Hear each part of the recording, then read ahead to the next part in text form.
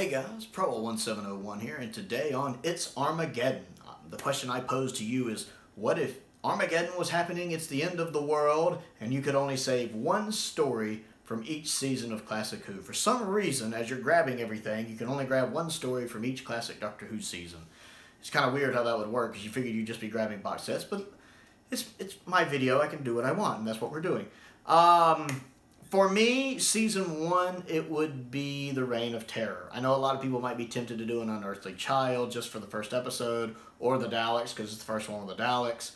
But I feel like you could establish the Daleks later. And I love Reign of Terror. I think Reign of Terror is one of the best historicals. I really enjoy it every time I watch it. I think the animated episodes are done really well and fit in really well. Um, and that episode one cliffhanger with the building burning is just phenomenal. I always enjoy it. I think Hartnell's great in it. I love how uh, he just assumes authority whenever he has to. He doesn't let anybody get a word in edgewise. I just I love that. I absolutely love that. Uh, season two, I'm gonna say the Dalek invasion of Earth. This is a great chance for us to introduce the Daleks. It's also Susan's departure. Uh, and that's done really well. And, and plus, Hartnell has a lot of really good scenes in that, in the episodes he's actually in.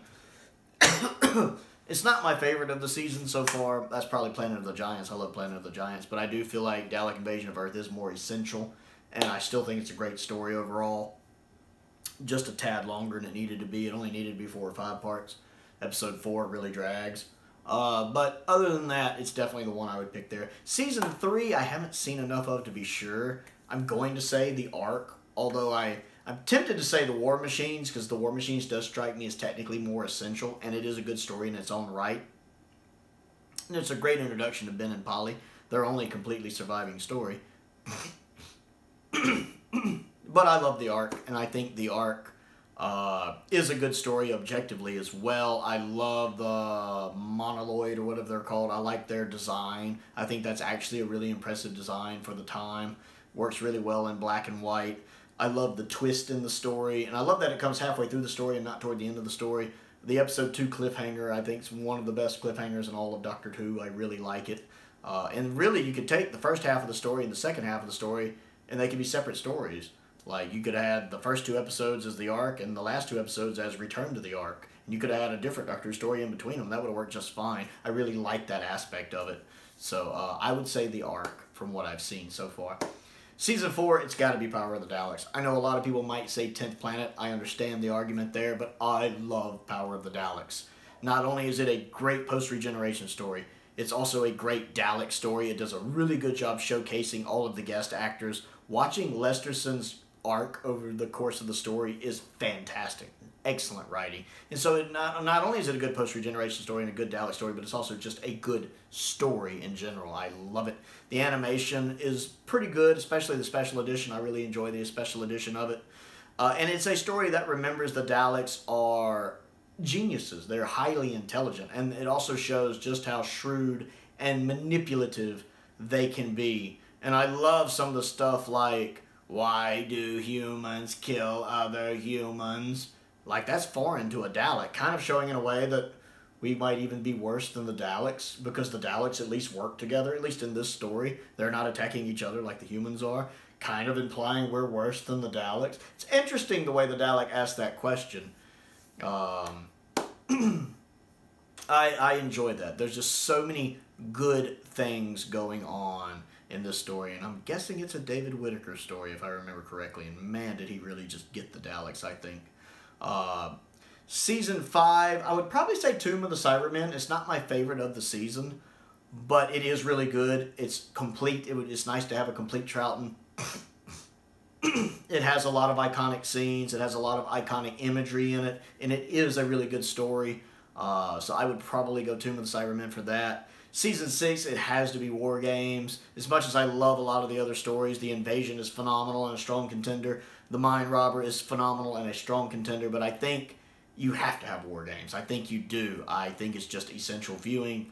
Just for episode 10 alone, I like the whole story. I love the first nine episodes as well, especially the cliffhanger to episode 9 when it shows them running in slow motion. That one shot of them is one of my favorite shots in all of Doctor Who when you just see them running down the mountainside. I love that shot. I love the Time Lords being that powerful that they can just slow down time on a whim like that. That's the Time Lords I want to see more of. I love those Time Lords. They're like gods, and I love it. That's a heck of a cliffhanger. And then episode 10, of course, is just amazing. One of the best episodes Doctor Who has ever put out. Um, season 7 gets trickier because I'm not sure whether to pick between Spearhead and Inferno. Spearhead could be a little more essential, but I think Inferno is better. I would probably say Inferno, although if I accidentally grabbed Spearhead, I'd be fine. But I love Inferno. It's one of my favorite Doctor Who stories. I think objectively it's amazing. It It's the only like seven parter I've ever seen or longer where there's no padding. Everything feels paced perfectly. It fills out its seven episodes perfectly, and I love that. And there's so much going on in it, and the actors who are getting to play dual roles in it do such a good job with both characters that I really like it. Nicholas Courtney is hamming it up a little bit as he does sometimes, but uh, you can tell he's having so much fun playing the brigade leader that I'm willing to let it go because he's so much fun to watch. Um, season eight I'm to go with Terror of the Autons, mainly for the Master. It's not my favorite of the, of the season. That's Mind of Evil. I love Mind of Evil. But Terror of the Autons is a fantastic story. And since we don't have Spearhead, we took Inferno. It's nice to have an Auton story. It's a great introduction to the Master. The Master's opening scene alone is magnificent, and I love it. And it's nice uh, just seeing how calculating and cold and Moriarty-like this Master is. And I, I just enjoy when him and the Doctor confront each other in the story. It, it's, it's a really, really good story. Season 9, special edition of Day of the Daleks, got to be. I love that one. Of all the special editions we've had so far, that is my favorite. It is the one that really bumps up the story the most for me and makes the execution of the story live up to the actual script of the story. and I, I'm all for that. And don't get me wrong, I like Curse of Peladon and I love the Sea Devils, but I've got to have that special edition of Day of the Daleks. It's always a fun rewatch for me when I go back to watch it. And I always watch the special edition. I can't watch the regular edition anymore. Special edition wins for the new Dalek voices alone. Um, season 10 is a little trickier because there's so many good ones. Uh, it's almost a three-way tie between Carnival of Monsters, Three Doctors, and The Green Death because they're all amazing. I would probably say the Three Doctors. It's my favorite multi-doctor story. It's probably my second or third favorite Pertwee story. Plus, I get more Hartnell and more Troughton, and Troughton, of course, steals the show as Troughton tends to do. And just watching the Third Doctor and Second Doctor interact with each other is always a treat. I always love it. Uh, it's just it's a lot of fun, and I really enjoy it. Uh, season 11, I've only seen Death to the Daleks and Planet of the Spiders. And while I think I prefer Death to the Daleks slightly more, I'd probably say Planet of the Spiders just for its significance being Pertwee's final story and there's so much going on with it. And he gets to go by land, by air, and by sea in it. Got a one last hurrah, which I like. Um, so I enjoy that. I would probably go Planet of the Spiders. Season 12, Genesis. It has to be Genesis. I mean, Genesis isn't even my favorite of the season because you guys know I have a strong love for Robot. I do. Completely subjective, strong love for Robot. I really love the Ark in Space. I enjoy Revenge of the Cybermen.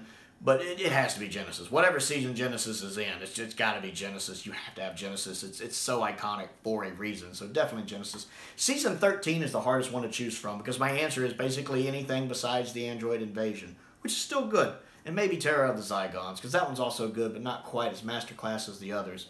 But if I reached in and grabbed, you know, Planet of Evil, uh, Brain of Morbius, Pyramids of Mars, or Seeds of Doom, I'd be happy either way because all four of those stories are just amazing. It would probably come b- down between Pyramids of Mars and Seeds of Doom because both stories are amazing. I love them both.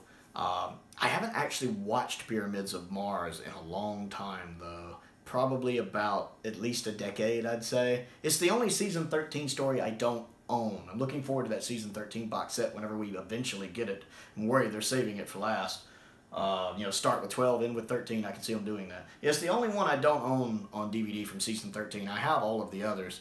Um, and so I haven't got to rewatch it. It's a little hazy in my memory, but I remember I love it. It's I absolutely love it. It has some very iconic scenes in it as well. And while I love Seeds of Doom as well, between the two, it's it's it's almost a toss up, but I would probably say Pyramids of Mars. Uh, season 14, got to be Talons. Some great stories that season, some truly great stories. I find, and most of you know, I find Face of Evil vastly underrated and Robots of Death a bit overrated while still being great, but it's got to be Talons. I absolutely adore Talons. Season 15 has to be Horror of Fang Rock. If I picked anything else, Ham would send a hitman after me, rightfully so. Horror of Fang Rock is such a standout for the season, such an amazing horror story, and it never gets old. I could re I rewatched it a few months ago. I could rewatch it right now if I owned it on DVD. It's amazing. Uh, season 16 is a little trickier because it's hard for me to pick between Ribos Operation and Pirate Planet. I love both. Between the two, I would probably say Pirate Planet, but if I grabbed Ribos Operation by mistake, I'd be content with that because they're both fantastic stories. But Pirate Planet just has that Douglas Adam humor that I love to death. And him, Douglas Adams and the Fourth Doctor just click. They really fit like two pieces of a puzzle, snapping together perfectly. Um, so anytime they're together, I tend to enjoy it. Season 17, City of Death, goes without saying, has to be City of Death. I like all of the stories in season 17. I like season 17. It's a vastly underrated season. But City of Death is easily the tent pole of the season, and it is just a phenomenal story in general. Season 18, State of Decay. I'd be tempted to say Logopolis, but I'll circle back to that. But I am going to go with State of Decay. Most of you guys know that for me, that's my masterpiece of season 18. You know, anytime when if you know if I run into somebody that tries to tell me modern series 11 is better than classic season 18, my argument is modern series 11 has no masterpieces in it. Classic season 18 has a masterpiece in it, and that masterpiece is State of Decay. Although I know some people would argue Warriors Gate is a masterpiece, and I'm willing to accept that. I don't quite agree. It is amazing. I don't know if I call it a masterpiece. But anyone else who thinks that, I'm definitely willing to let it stand. Um, season 19, Castrovalva. And this is why I might have considered Logopolis for season 18, because Logopolis does flow right into Castrovalva, and at least then you would have both of those stories. You know, you would have Logop, you know, as Keeper, Logopolis, and Castrovalva pretty much work as a trilogy. You would have the last two parts of that trilogy, you would have Tom's final story and Peter's first story, and they go together really well. I just, I love Castrovalva. It's my favorite Peter Davison story. Uh, not necessarily objectively his best. That is probably Caves, honestly. But uh, it is my personal favorite. I think it's a lot of fun. It does a lot of neat things I like. I love a lot of the ideas going on in it. I love the the actual mystery behind Castrovalva. Fascinates me. I love the fact that I did not pick out who Anthony Ainley was until his reveal at the end. I didn't see that. The makeup worked so well. I remember the first time I saw that just being like, huh. Um, so that that it, it definitely gets a plus for me for that. It's just a really good story. uh, season 20, season 20. Uh, for season 20, I'm going to say Five Doctors. I, I know it's not technically part of season 20, but I'm pretty sure it's going to be on the season 20 box set, let's be honest. So I'm going to say the Five Doctors because I do enjoy the Five Doctors a lot. It's another one of my favorite multi-doctor stories, and it is really, really good. Again, Troughton steals the show. But I think Richard Hurndall does a really good job as the first Doctor, too. I actually really like his performance as the first Doctor. Uh, so it is nice to see that one. I really enjoy it a lot. If for some reason I wasn't allowed to include it, I'd probably say the special edition of Enlightenment because I do like Enlightenment and I, I love the updated effects for it a lot of those shots of the ships have a, has a very cinematic look that I really like. Uh, season 21's got to be Caves. I mean, I've called Caves overrated before, and I think it is, but it is still a masterpiece. It is still the best the best story in season 21. Uh, don't get me wrong, Resurrection is also in the runnings. I love Resurrection of the Daleks, but it's, it's got to be Caves. Got to be. Season 22, I'm going to say Vengeance on Varos.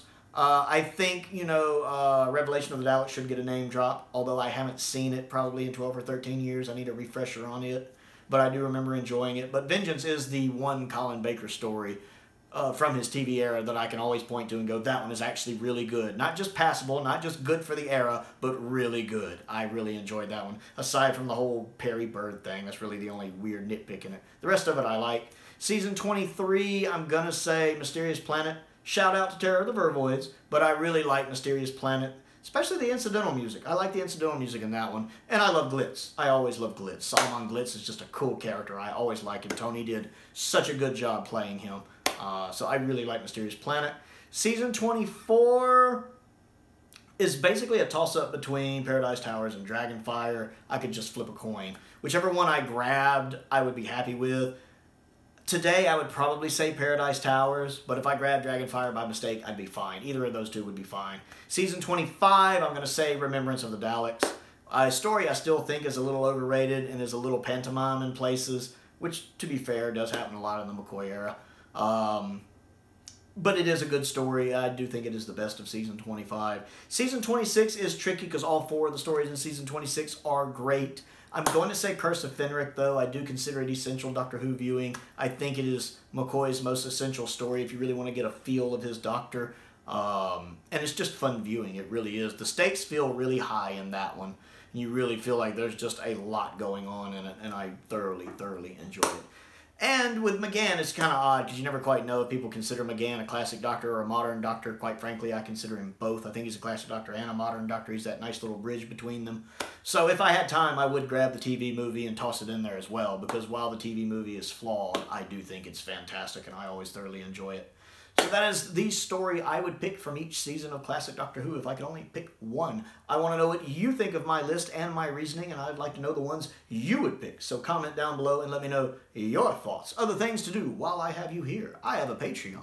If you like what I do and want to support what I do, there is a link to that down in the description as well. I want to give a shout out to two of my top tier patrons, Stephen Crane and the Fifth Doctor. I do appreciate their continued support and the support of all of my other patrons as well Trevor, Alice, Jay.